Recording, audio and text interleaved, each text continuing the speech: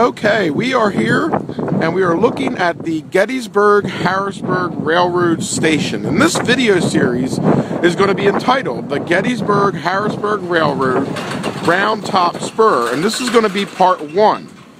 Now, many people don't realize that a fully operational steam locomotive once time once not only came into town in Gettysburg, but also even across the Gettysburg battlefield. And today, remnants of that track still can be seen at different spots on the battlefield. Through this video series, we're going to take a look as we travel on the Gettysburg-Harrisburg Railroad Round Top Spur.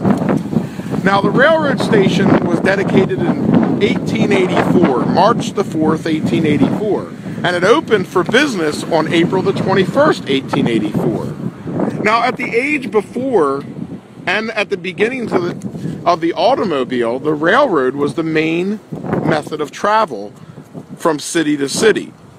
Now, here in Gettysburg, which lie just to the south of Harrisburg, it had become a hotbed of activity because of the Battle of Gettysburg and the nearing 25th anniversary of the Battle of Gettysburg, where vet Union veterans began to place markers and monuments on the Gettysburg battlefield to commemorate their deeds on July 1st, 2nd, and 3rd of 1863. From this railroad station, a spur would run down through the town, across the battlefield, and to Little Round Top. And today we're going to take a tour of the old Gettysburg-Harrisburg Railroad Round Top Spur is the Gettysburg-Harrisburg Rail Station, as I mentioned earlier.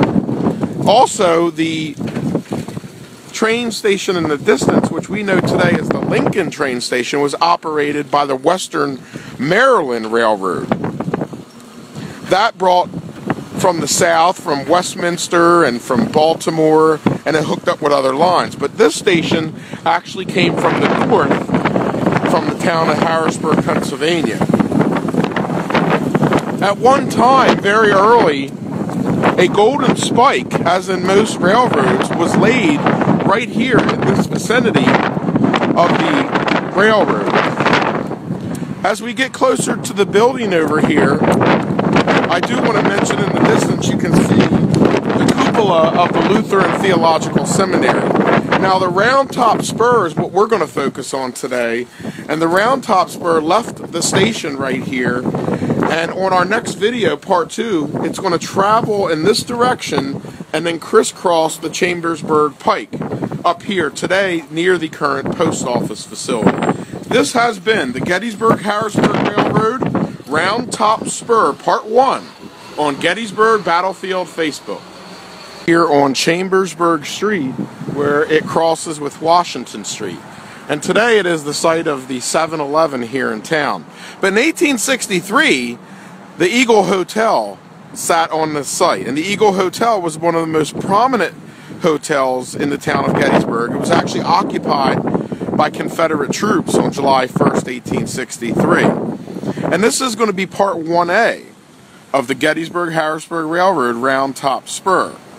And I'm standing here because I want to mention that even though the park, or the early park rather, was against the Gettysburg Harrisburg Railroad Round Top Spur, a licensed guide named W.A. Holdsworth actually operated a business out of the Eagle Hotel on the site of what is today 7 Eleven, where he would give guided tours of the Gettysburg battlefield on the Gettysburg Harrisburg Railroad Round Top Spur. Now, of course, on July 1st of 1863, this was ground zero for the Union retreat at Gettysburg as they collapsed from the west with the 1st Corps and then uh, north with the 11th Corps. And in the distance, just over here, you can actually see the cupola of Pennsylvania College with the Civil War flag. And then just under it over here, next to this White House, is the Gettysburg-Harrisburg Railroad Station. And in our next part, part two, we're actually going to show how it would come into the town of Gettysburg, cross the Chambersburg Pike, and then out on to the sacred Gettysburg battlefield. This has been the Gettysburg-Harrisburg Railroad Round Top Spur Part 1A on Gettysburg Battlefield Facebook. And I do want to mention that the railroad that we talked about being opened in 1884 was removed in 1932 and the tracks laid in the ground for about 10 more years. And then during World War II, an iron and steel scrap drive was made and the tracks were finally removed in 1944 or 1942 rather for that World War II scrap drive. This has been the Gettysburg Harrisburg Railroad Round Top Spur Part 1A on Gettysburg Battlefield Facebook. The Gettysburg Harrisburg Railroad Round Top Spur Part 2 on Gettysburg Battlefield Facebook. And I'm here on the Chambersburg Pike. And I'm standing across the street from Tom Knox to use Auto and right here in the parking lot of the Dunlap's Family Restaurant. And it was here that the round top spur line Gettysburg Harrisburg Railroad. Came coming from the train station would then enter in through the town of Gettysburg right by what today is this building cross the Chambersburg Pike right here by today what is Dunlap's restaurant and head in this direction. In fact, one of the buildings from the late 1800s, but not from the Civil War, is this building here that was actually used by the Gettysburg Harrisburg Railroad. And today it's a uh, storage area for the Dunlap's restaurant. But this was a storage unit for different equipment during the Gettysburg Harrisburg Railroad round top spur years. This street over here is Reynolds Avenue. The train would ride by this building and then bend to the left where it would go further into uh, deeper into rather the Gettysburg National Military Park area. Now, one time there was only a road or two that ran here. This development was later built in the early 1900s. So again, we're talking about 1884, and this area uh, is yet undeveloped. The Lutheran Seminary complex uh, is straight ahead of us here in the distance as you go up toward Seminary Ridge. And of course, this was a hotbed of activity on July 1st, 1863, because the First Corps collapsed right from the seminary area, and the 11th Corps is collapsing from the college area, which you can see uh, the again the, the cupola of the Pennsylvania College and some of the other modern college buildings as these 11th Corps troops are all converging right here uh, in the dab smack middle of the Union retreat of July 1st, 1863. This has been the Gettysburg Harrisburg Railroad Round Top Spur Part 2 on Gettysburg Battlefield Facebook. Standing here at the corner of Reynolds Street and West Middle Street here in Gettysburg, and we talked about the in our last video the train then headed in this direction following the modern route of Reynolds Street where it then began its journey in this direction here um, toward the Gettysburg battlefield. Now this is going to be the Gettysburg Harrisburg Railroad Round Top Spur Part 3 and one of the more interesting parts of the videos because it is one of the only spots where remnants of not only the roadbed but the railroad ties themselves still are secretly hitting here uh, on the Gettysburg battlefield. And we're standing here on Middle Street, and for a reference point, there is the building for Codori Memorials. Now, the train tracks, actually, I'm walking on what was the bed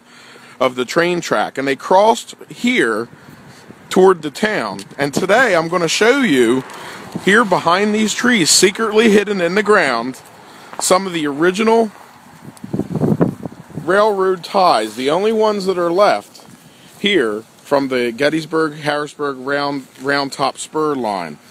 Now these railroad ties, there were 2,151 of these railroad ties um, on the battlefield or on the railroad round top spur. And they were eight and a half feet long, nine inches wide, and seven feet thick. And again, today a tree has grown up here right in the middle of the railroad track, but again, you can see some more of these railroad ties here. This is where the train continued on its journey southbound into the areas that we would later know as Pickett's Charge, by the McMillan Farm and then out today where Colt Park is. Right here, um, it would actually cross this ford and then head toward what is today the St. Francis Catholic Cemetery. And we're going to pick it up in our next video over here. I do want to mention in recent years there has been uh, an idea to maybe even remove these last remaining railroad ties out of the ground to build a walking trail uh, through the town of Gettysburg, which I personally think would be a great mistake. Um, if they were to go ahead with the plan of the walking trail, and if anyone hears, any local uh, people hear about this, I have a proposed idea I think that would be satisfactory to all.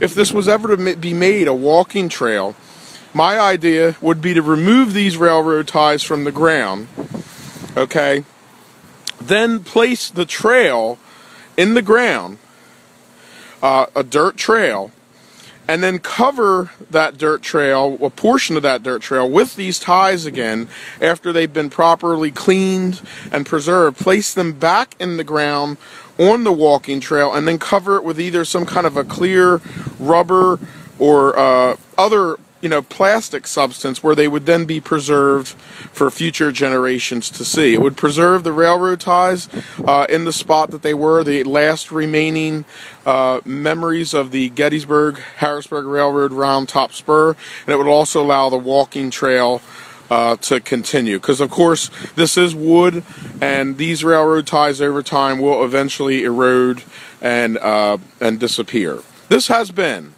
the Gettysburg Harrisburg Railroad Round Top Spur Part 3 on Gettysburg Battlefield Facebook.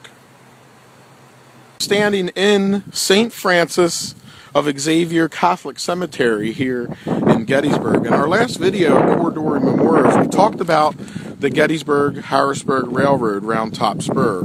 And by the way, this is part four of that video series. The train then crossed in this area and ran to the east side of the cemetery, straight ahead in this direction along this creek here. And from here it would it would go forward uh, and it would run just to the west side of the David McMillan farm and orchard. Now the David McMillan farm uh, was used several times during the Battle of Gettysburg. It was it was crossed by the First Corps on July 1st, 1863, as they headed to Seminary Ridge. Um, and their overall federal commander, John F. Reynolds, as we've seen, had taken a different route through the town. But the Gettysburg Harrisburg Railroad tracks no longer exist anywhere here in the cemetery, but they once ran right here where our camera is focused. And of course, today, uh, Colt Park area is in this direction over here. So the train ran by today what is Colt Park. It ran by the historic David McMillan farm and then it would go out, as we'll look at in a later video, to the area of the fields of Pickett's Charge where the William Bliss farm once stood. This has been the Gettysburg Harrisburg Railroad Round Top Spur Part 4 on Gettysburg Battlefield Facebook. Harrisburg Railroad Round Top Spur, Part 5, here on Gettysburg Battlefield Facebook. And I'm standing in front of Watson's Battery. They were in the Army of Northern Virginia, Ewell's Corps. They were artillery reserve that were in Dance's battalion. And this was Watson's Battery, which consisted of four 10 pound Parrott rifles.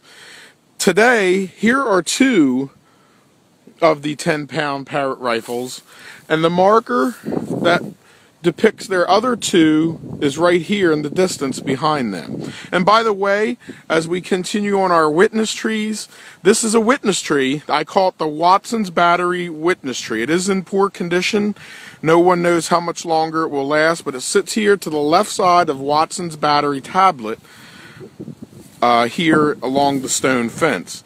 Now, the Gettysburg Harrisburg Railroad round top spur uh, would then head from the cemetery in our last video right by in front of this battery into the Colt Park area, then down passing by the David McMillan farm and then out to the fields where Pickett's Charge happened. That's right, a live steam engine on the fields of Pickett's Charge.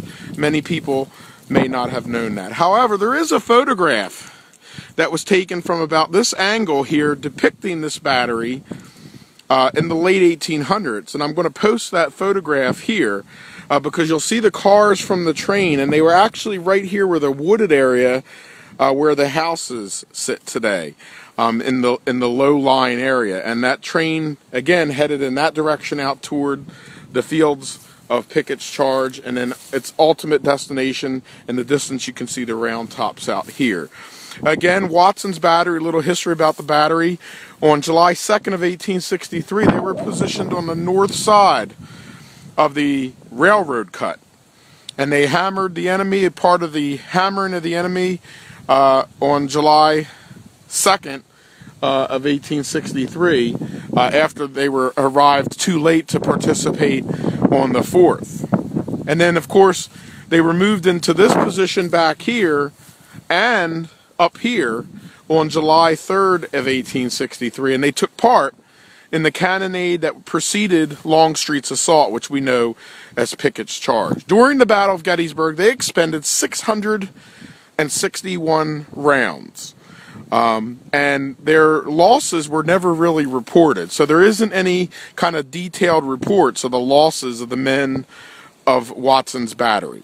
This has been the Gettysburg Harrisburg Railroad Round Top Spur, Part 5 on Gettysburg Battlefield Facebook.